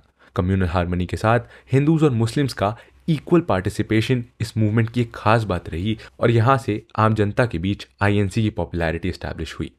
लोगों के बीच अपने पॉलिटिकल राइट्स को लेकर जागरूकता बढ़ी और उनके मन से गवर्नमेंट के प्रति डर भी खत्म हो गया। और गांधी जी यहाँ से एक मास लीडर के रूप में बनकर उभरे। Swarajists and no changers non cooperation movement के विड्रॉल और गवर्नमेंट ऑफ़ इंडिया एक्ट 1919 और 1923 इलेक्शन के कारण कांग्रेस स्वराजिस्ट और नो चेंजेस में डिवाइड हो गई। स्वराजिस्ट लीडर्स जैसे C R Das, Motilal Nehru, Hakim Ahmad Khan council boycott को एंड करना चाहते थे और काउंसिल को ज्वाइन कर उसे अपने पॉलिटिकल स्ट्रगल के लिए एक प्लेटफॉर्म की तरह यूज़ करना चाहते थे। और वहीं नो चेंजर लीडर्स जैसे सी राजगोपालाचारी, वल्लभ भाई पटेल, राजेंद्र प्रसाद बॉयकॉट को कंटिन्यू करना चाहते थे और नॉन कोऑपरेशन और बॉयकॉट को मेंटेन करते हुए कंस्ट्रक्टिव वर्क के ऊपर अपना फोकस करना चाहते थे। मार्च 1922 में गांधी जी के अरेस्ट के बाद नेशनलिस्ट लीडर्स डीमोरलाइज हो गए और ये मूवमेंट एक पैसिव फ़ेज़ में चला गया। कांग्रेस के गया सेशन में स्वराजिस्ट के प्रपोजल की डिफीट होने के बाद सी आर दास और मोतीलाल नेहरू ने प्रेसिडेंट और सेक्रेटरी के पोस्ट से रिजाइन कर दिया और कांग्रेस खिलाफत स्वराज पार्टी फॉर्म की। सिया दास इसके प्रेसिडेंट चुने गए और मोतीलाल नेहरू इसके सेक्रेटरी चुने गए। रिफॉर्म के लिए यूनाइटेड फ्रंट की इंपॉर्टेंस को समझते हुए गांधी जी और नो चेंजर्स ने स्वराजिस्ट के, कांग्रेस के विद इन रहते हुए ही इलेक्शन लड़ने के डिसीज़न को सपोर्ट किया और 1923 के इलेक्शन में स्वराज पार्टी ने 104 में से 42 सीटें जीती। स्वराज पार्टी का एम था गवर्नमेंट फंक्शनिंग को ऑब्स्ट्रक्ट करना और उन्होंने सारे ऑफिशियल फ़ंक्शंस और रिसेप्शन का बॉयकॉट किया और अपने ग्रीवांसेस और एस्पिरेशंस को लेजिस्लेटिव असेंबली में रखा। स्वराज पार्टी के अचीवमेंट की बात करें तो विठल भाई पटेल 1925 में सेंट्रल लेजिस्लेटिव असेंबली के स्पीकर बनते हैं और स्वराजस ने बहुत से इंपॉर्टेंट मैटर्स यहाँ तक कि बजटरी ग्रांट्स में भी गवर्नमेंट को आउटवोट किया और इस तरह वो पब्लिक सेफ्टी बिल को डिफीट करने में भी सक्सेसफुल हुए। अपनी स्ट्रैटेजी से स्वराजस ने मोन्टेगू चंद्रफोर्ड रिफॉर्म की वीकनेसेस को भी उजागर किया। पर इसके साथ ही स्वराज्य असेंबली के स्ट्रगल को मास फ्रीडम स्ट्रगल के साथ कोऑर्डिनेट नहीं कर पाए और कुछ लीडर्स पावर के साथ आने वाले पर्क्स को रेजिस्ट नहीं कर पाए। पार्टी रिस्पॉन्सिविस्ट और नॉन रिस्पॉन्सिविस्ट के बीच डिवाइड हो गई। रिस्पॉन्सिविस्ट जैसे मदन मोहन मालवीय, लाला लाजपत राय गवर्नमेंट के साथ कोऑपरेट करना चाहते थे और नॉन रिस्पॉन्सिविस्ट जैसे मोतीलाल नेहरू ने लेजिस्लेचर से विड्रॉ कर लिया। 1925 में सियादास की डेथ के बाद पार्टी और भी वीक पड़ गई। और 1926 के इलेक्शन में पार्टी कुछ खास नहीं परफॉर्म कर पाई और 1935 में स्वराज पार्टी फिर से कांग्रेस में मर्ज हो गई। Simon commission and Nehru report. Simon commission. Government of India act 1919 के प्रोविजंस के अकॉर्डिंग टेन ईयर्स के बाद इंडिया में कॉन्स्टिट्यूशनल रिफॉर्म्स की स्टडी के लिए secretary of state for India lord Birkenhead ने सर जॉन साइमन की चेयरमैनशिप में सेवन मेंबर्स की एक स्टैचूटरी कमीशन सेट की गई, जिसे पॉपुलरली साइमन कमीशन के नाम से जाना जाता है। इस कमीशन में एक भी इंडियन को शामिल नहीं किया गया था, जो इंडियंस के लिए एक इंसल्ट की बात थी। और इसके प्रति इंडियंस का आउटरीजियस होना ज़ाहिर सी बात थी। कांग्रेस ने 1927 मद्रास सेशन में इस कमीशन को बॉयकॉट करने का डिसीज़न लिया और मोहम्मद अली जिन्ना की लीडरशिप में मुस्लिम लीग ने भी इसे बॉयकॉट किया, पर मोहम्मद शाफी और लीग के कुछ मेंबर्स गवर्नमेंट के सपोर्ट में भी थे। फरवरी 1928 को, जब कमीशन इंडिया आई, तब उसका स्वागत, मास प्रोटेस्ट, हड़ताल, ब्लैक फ्लैग्स और साइमन गो बैक के नारों से किया गया। इसके जवाब में, पुलिस ने लाठीचार्ज किया और लाहौर में डिमॉन्स्ट्रेशन लीड कर रहे लाला लाजपत राय इस ब्रूटल लाठीचार्ज का शिकार हुए और इंजरी से उनकी मृत्यु हो गई। कमीशन ने 1930 में रिपोर्ट पब्लिश की और डायर की अबॉलिश कर प्रोविंसेस में रिप्रेजेंटेटिव गवर्नमेंट और सेपरेट कम्युनल इलेक्टोरेट सेटअप करने का सजेशन दिया।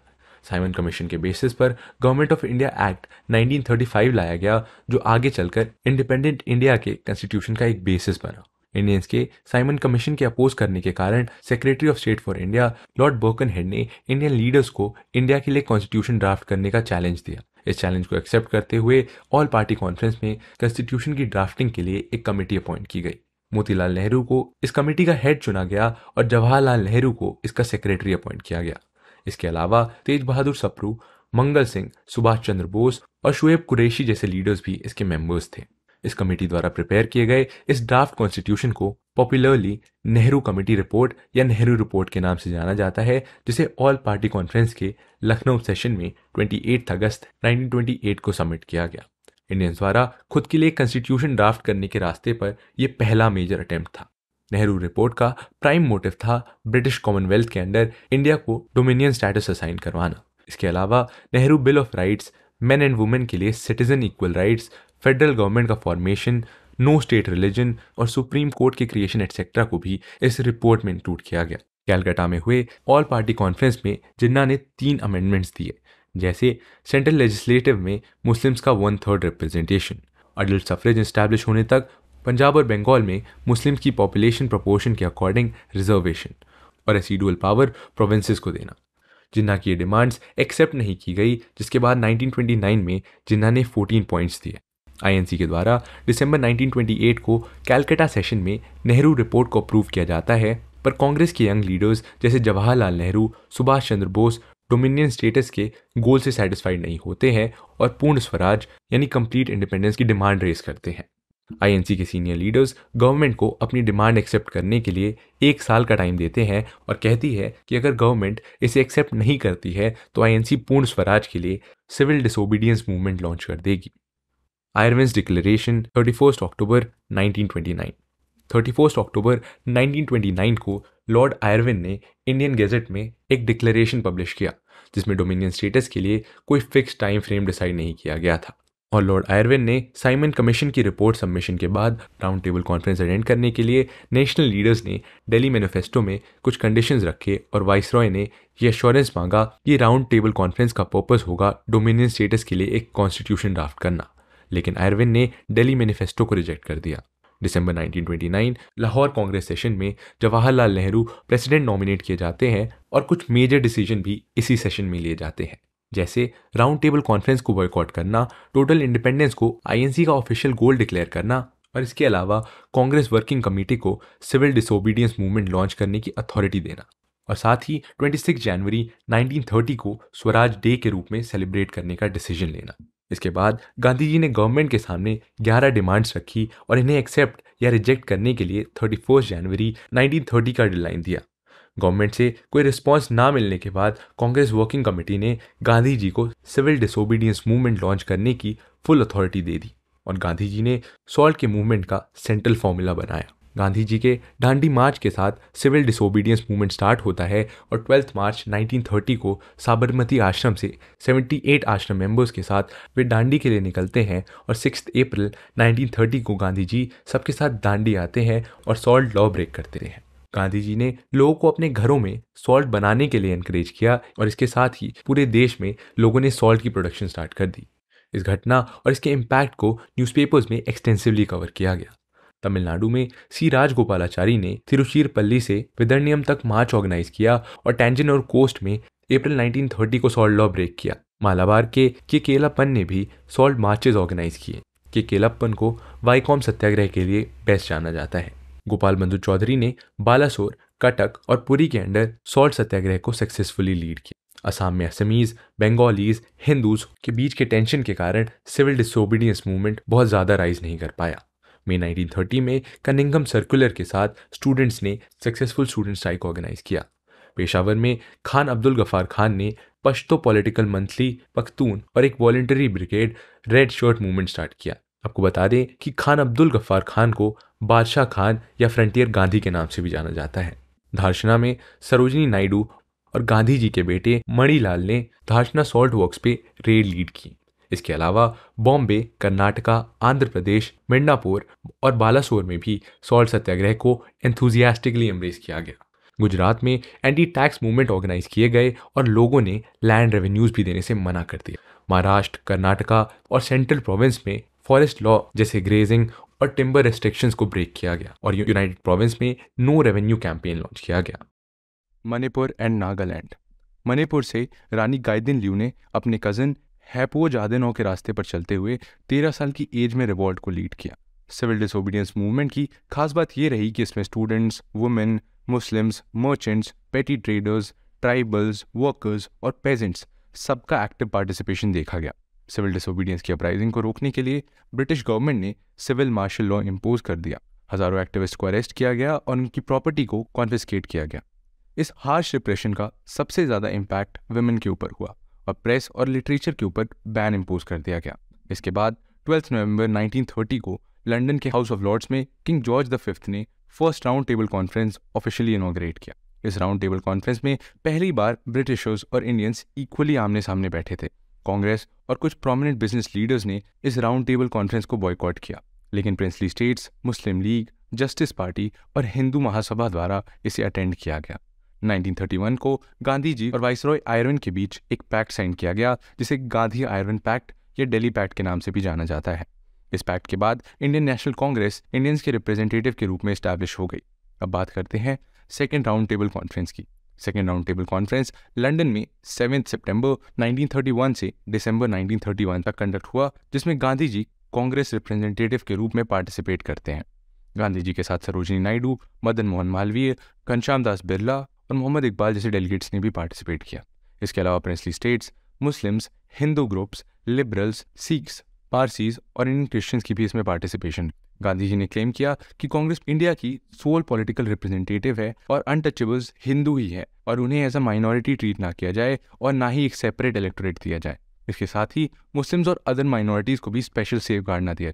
गांधी जी के क्लेम को बाकी पार्टिसिपेंट्स ने रिजेक्ट कर दिया और सेपरेट इलेक्टोरेट के मैटर पर गांधी जी और बी आर अंबेडकर किसी एक डिसीज़न पर नहीं आ और इसी तरह पार्टिसिपेंट्स के बीच डिफरेंसेस के कारण सेकेंड राउंड टेबल कॉन्फ्रेंस भी किसी नतीजे पर नहीं पहुँची। इंडियन फ्रेंचाइज कमेटी या लोथियन कमेटी की रिपोर्ट के बेसिस पर माइनॉरिटीज़ और डिप्रेस्ड क्लास के लिए 16 अक्टूबर 1932 को British prime minister Ramsay MacDonald ने कम्युनल अवार्ड अनाउंस किया, जिसे हम मैकडोनल्ड अवार्ड के नाम से भी जानते हैं। इस कम्युनल अवार्ड का विरोध करते हुए येरवादा जेल में गांधी जी इनडेफिनिट फास्ट पर चले गए, जिसके बाद ट्वेंटी सितंबर 1932 को गांधी जी और बी आर अंबेडकर के बीच पूना पैक्ट साइन किया गया। और डिप्रेस क्लास के लिए सेपरेट इलेक्टोरेट को कैंसिल कर दिया गया। इसके बदले प्रोविंशियल लेजिस्लेचर में इनकी रिज़र्व सीट को 71 से 147 तक इंक्रीज कर दिया गया और सेंट्रल लेजिस्लेचर में 18 परसेंट तक रिजर्वेशन इंक्रीज कर दिया गया। इसके बाद सेवन्थ नवंबर 1932 से 24 दिसंबर 1932 तक third round table conference conduct की गई, जिसका इंडियन नेशनल कांग्रेस और गांधी जी ने बॉयकॉट किया। Aga Khan the third B R Ambedkar और मोहम्मद इकबाल ने इसमें पार्टिसिपेट किया, पर क्योंकि कांग्रेस इससे एबसेंट रही तो इस बार भी कोई कंक्लूजन नहीं निकल पाया। फिर राउंड टेबल कॉन्फ्रेंस के रिकमेंडेशंस को एक जॉइंट सिलेक्शन कमेटी द्वारा एनालाइज किया गया और इस कमेटी और साइमन कमीशन रिपोर्ट के बेसिस पर गवर्नमेंट ऑफ़ इंडिया एक्ट 1935 को फॉर्मुलेट किया गया। इस एक्ट के कुछ मेन प्रोविजंस को देखते। Number one creation of all India federation number two division of power between centre and provinces जिसमें फेडरलिस्ट की पावर सेंटर्स को दी गई और प्रोविंशियल लिस्ट की पावर प्रोविंसेस के पास रही।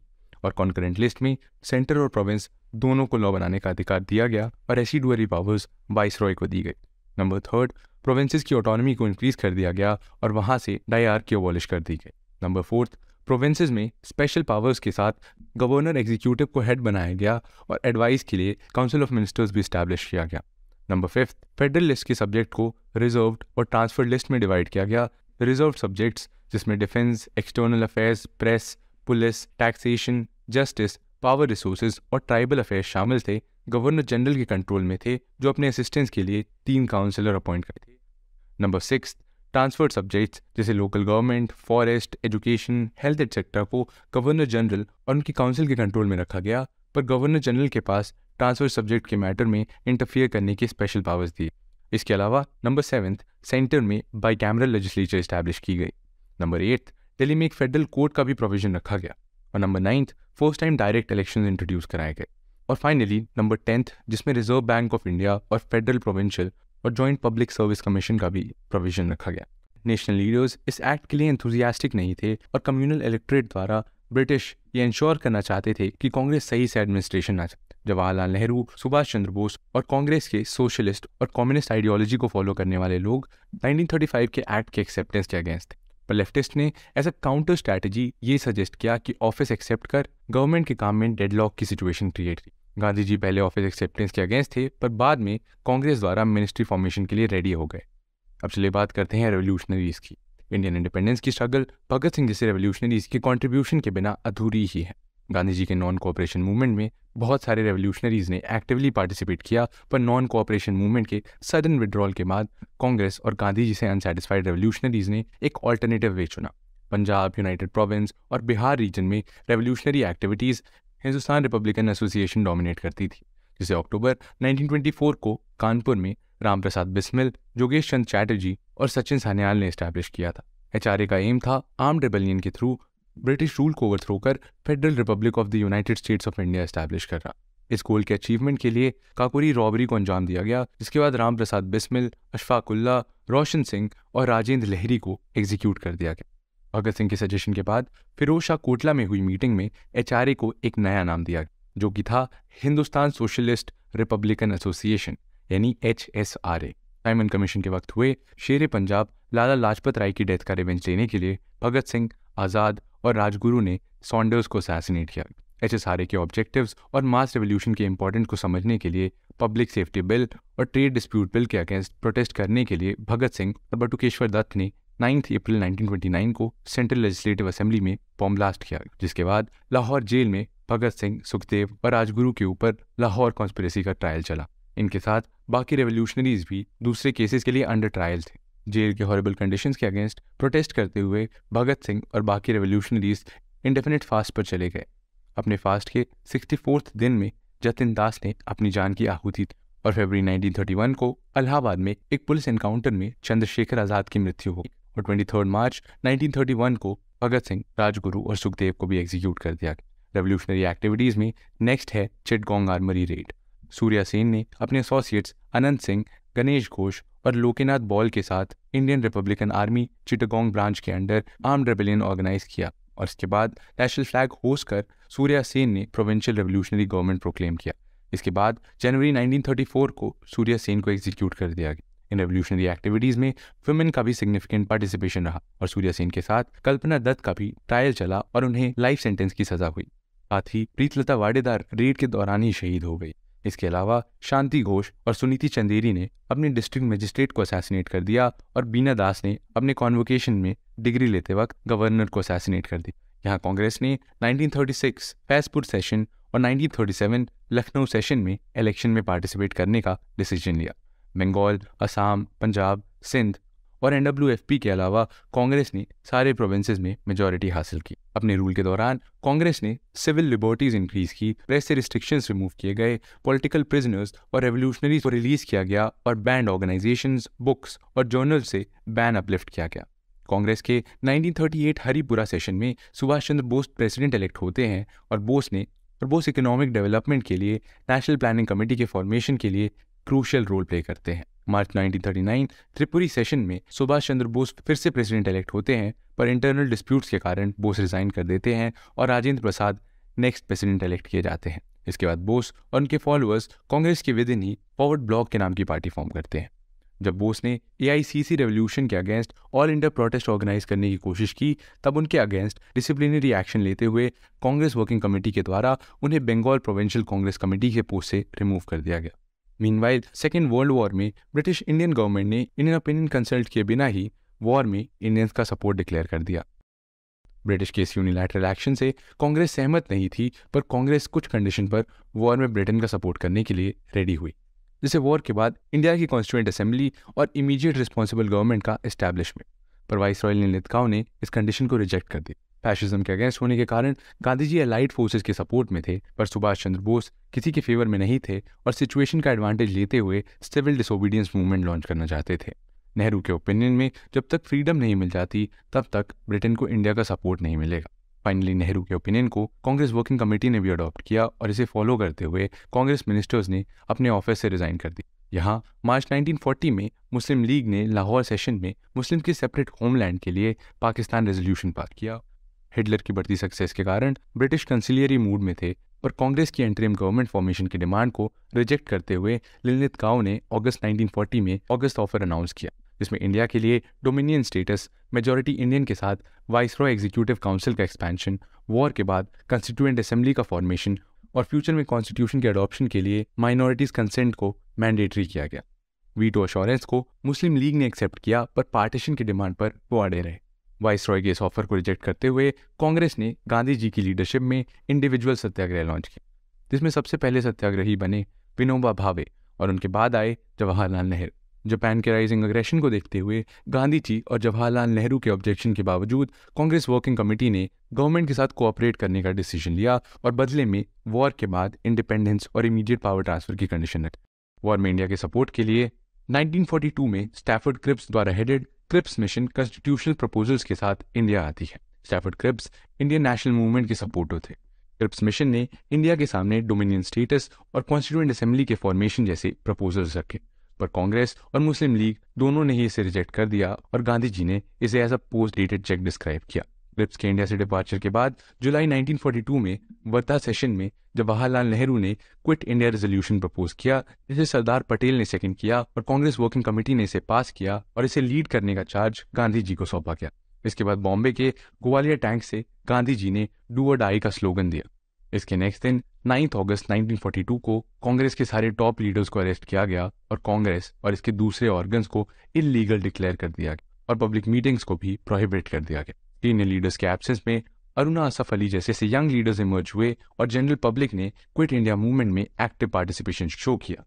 अथॉरिटीज के सिंबल को अटैक करना, खुद को अरेस्ट करवाना, student strike, worker strike, procession etcetera activities ने ज़ोर शोर से पार्टिसिपेट किया। इसके अलावा सोशलिस्ट, फॉरवर्ड ब्लॉक, रेवोल्यूशनरीज और गांधी आश्रमाइट्स ने अंडरग्राउंड रहकर अपना रोल प्ले किया। इसमें मेन है राम मनोहर लोहिया अरुणा असफ अली जयप्रकाश नारायण, उषा मेहता और सुचेता कृपलानी एटसेक्ट बलिया में चिट्टू पांडे ने पैरेलल गवर्नमेंट स्टैब्लिश की।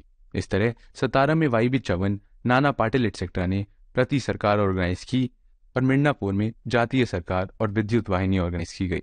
क्विट इंडिया मूवमेंट में सोसाइटी के वेरियस सेक्शंस जैसे students workers women peasants government officials Muslims और बिजनेसमैन का एक्टिव पार्टिसिपेशन देख। वहीं मुस्लिम लीग कम्युनिस्ट्स और हिंदू महासभा ने इस मूवमेंट को बॉयकॉट किया। मूवमेंट के अपराइजिंग को कर्व करने के लिए गवर्नमेंट ने मार्शल लॉ इम्पोज कर दिया और brutal lathi charge tear gas firing etcetera का यूज़ कर सीवियर तरीके से इस मूवमेंट को सप्रेस किया। और इसमें करीब दस हज़ार लोगों ने अपनी जाने गंवाई।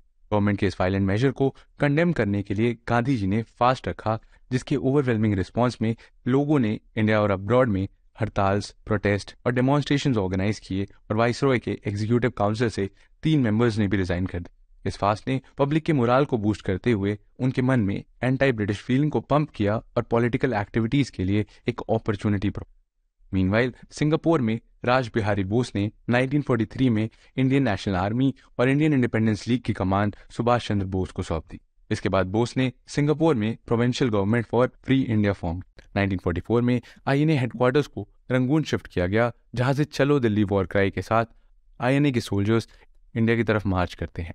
1943 को जापान ने अंडमान एंड निकोबार आइलैंड्स बोस को हैंडओवर किए और बोस ने इनका नाम शहीद द्वीप और स्वराज द्वीप रखा।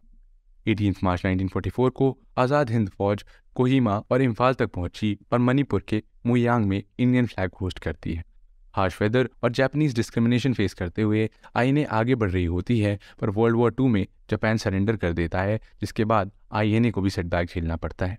रिपोर्टेडली 18 अगस्त 1945 को ताइवान के ताइपे में हुए एक प्लेन एक्सीडेंट में सुभाष चंद्र बोस की डेथ हो जाती। यहाँ इंडिया में वॉर टाइम के हॉरर को 1943 के फैमिन्स ने और भी इंक्रीज कर दिया और साउथ वेस्ट बंगाल इस फैमिन का वर्स्ट अफेक्टेड रीजन आर्मी के फ़ूड रिक्वायरमेंट को पूरा करने के लिए फ़ूड सप्लाई को डाइवर्ट किया गया। बर्मा और साउथ ईस्ट एशिया से राइस इम्पोर्ट्स बंद हो गई और डेलिब्रेट प्रॉफिटरिंग और मिसमैनेजमेंट ने फैमिन को और भी एग्रेवेट कर दिया और मैन मेड फैमिन और एपिडेमिक ने अराउंड अराउंड थ्री मिलियन लोगों की जान ली। मीन कॉन्स्टिट्यूशनल क्राइसिस को सॉल्व करने के लिए सी राजगोपालाचारी ने कांग्रेस लीग कोऑपरेशन के लिए एक फॉर्मूला प्रपोज किया जिसमें पाकिस्तान के लिए लीग के कोऑपरेशन के एक्सचेंज में पाकिस्तान पाकिस्तान के लिए एक प्लेबिसाइड प्रपोज किया गया था और गांधी जी ने इसे सपोर्ट किया। पर लीग ने इस फॉर्मूला को रिजेक्ट कर दिया और इसके अलावा वीर सावरकर द्वारा भी इस प्लान को कंडेम किया गया। डेडलॉक को एंड करने भूलाबाई देसाई और लीग के डेप्यूटी लीडर लियाकत अली खान ने एंट्रीम गवर्नमेंट के लिए देसाई लियाकत पैक्ट साइन किया पर लीग किसी सेटलमेंट पर नहीं पहुँची। वॉर के बाद वाइसरॉय लॉर्ड वेविल ने शिमला में एक कॉन्फ्रेंस ऑर्गेनाइज किया और वेविल प्लान प्रपोज किया इस प्लान के अकॉर्डिंग गवर्नर जनरल और कमांडर इन चीफ के अलावा एग्जीक्यूटिव काउंसिल में सारे इंडियन मेंबर्स होंगे और ये काउंसिल एंटरिम गवर्नमेंट की तरह फ़ंक्शन करेगी और कास्ट हिंदूज और मुस्लिम्स की इक्वल रिप्रेजेंटेशन का भी प्रोविज़न रखा गया। इस प्लान को कांग्रेस ने रिजेक्ट कर दिया और वेविल ने लीग को वर्चुअल वीटो दे दिया, जिससे लीग और जिन्ना की पोजीशन बूस्ट हो गई। वॉर के बाद कांग्रेस आईएनए के सपोर्ट में आती है और वॉर प्रिजनर्स के लिए जवाहरलाल नेहरू, तेज बहादुर सप्रू असफ अली बुला भाई देसाई के एन काटजू ने डिफेंस ऑर्गेनाइज किया। आईएनए ट्रायल्स के अगेंस्ट इंक्रीज होते अपसोज में रॉयल इंडियन नेवी रेबिलियन काफ़ी सिग्निफिकेंट है। एट फरवरी 1986 को रॉयल इंडियन नेवी के 1100 सोल्जर्स ने रेशियल डिस्क्रिमिनेशन और आईएनए ट्रायल्स के कारण स्ट्राइक पर चले गए और इन्होंने ट्राई कलर होस्ट कर दिया। कैलकाटा और बंगाल में meetings, processions strikes etcetera common हो गए और ये सिटीज़ वर्चुअली पैरालाइज हो गई। आर के सपोर्ट में दूसरे मिलिट्री एस्टैब्लिशमेंट, जैसे कराची, मद्रास और कैलकटा भी आ गए और फाइनली पटेल और जिन्ना के परजुएशन के बाद रेटिंग्स ने सरेंडर किया। इलेक्शन के बाद कांग्रेस ने सेंट्रल असेंबली में 102 में से 57 सीट्स कैप्चर की और लीग को 30 सीट्स में। इसके बाद मार्च 1946 में एशली गवर्नमेंट ने पैथिक लॉरेंस स्टैफर्ड क्रिप्स और एवी अलेक्जेंडर के अंडर कैबिनेट मिशन इंडिया भेजा। कैबिनेट मिशन में पाकिस्तान को रिजेक्ट किया गया था, जिसे लीग और कांग्रेस दोनों ने एक्सेप्ट किया। पर कुछ दिन बाद लीग ने अपनी एक्सेप्टेंस विदड्रॉ कर ली और पाकिस्तान के लिए सिक्सटीन अगस्त को डायरेक्ट एक्शन डे का कॉल दिया, जिसके बाद पूरे इंडिया में कम्युनल वायलेंस स्प्रेड हो गई, जिसमें पंजाब और Bengal worst affected region subcontinent में बढ़ते ट्रबल को देखते हुए पीएम एटली ने पार्लियामेंट में थर्टी जून 1948 से इंडिया का विड्रॉल अनाउंस माउंट बैटन को इंडिया का लास्ट वाइस रॉय अपॉइंट किया गया और यहाँ मुस्लिम लीग ने सिविल डिसोबीडियंस मूवमेंट स्टार्ट कर दी। कम्युनल वायलेंस और कांग्रेस लीग के बीच डिसएग्रीमेंट ने पार्टीशन को इनएविटेबल बना दी थर्ड जून 1947 को प्रपोज माउंट बैटन प्लान में इंडिया के डिवीज़न का प्रोविज़न था, पर इसके साथ ही मैक्सिमम यूनिटी को रिटेन करने की कोशिश की।